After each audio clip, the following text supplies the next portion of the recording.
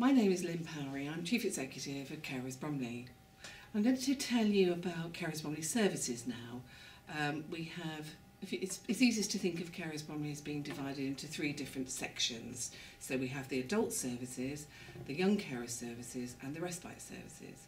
Um, the respite services are also divided into three different sections, you could say, because we have the stress busting services for carers, and they include things like um, reflexology, Indian head massage, um, different types of complementary therapies that we run in two different parts of the borough. And carers are um, invited via our newsletters to make appointments and come along and have some stress busting. They're very popular sessions, and we're always, looking to provide more. And we are about to start a, an acupuncture section to, our, uh, to that strand.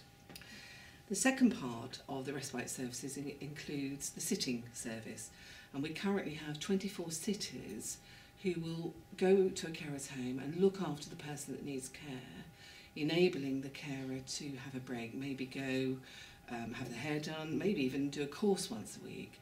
And it's a very popular service, very well used. And uh, what we do is introduce the sitter to the carer, and the carer and the sitter make their own arrangements.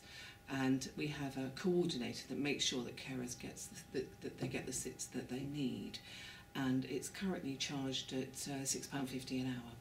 The third strand of the respite services is our uh, carers break service, and uh, we have a house in Bromley where we house um, at the moment five uh, community service volunteers or latitude volunteers, and they're people, young people from abroad who want to come and work in this country, and um, they have placements in order for them to live here, and that's what we do. We place these volunteers after very very careful assessment, um, and they go into the carer's home, enabling the carer to actually go on holiday.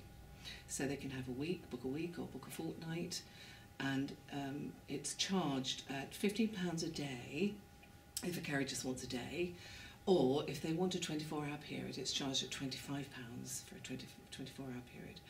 And so a carer can book a week or a fortnight and actually have a proper holiday.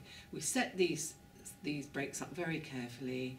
They're assessed, all medication sheets are signed by all parties. Um, everybody that does anything for Carers Bromley is insured, uh, CRB checked, and trained by us. Uh, for example, sitters have quarterly training, and the CSV uh, volunteers have training too.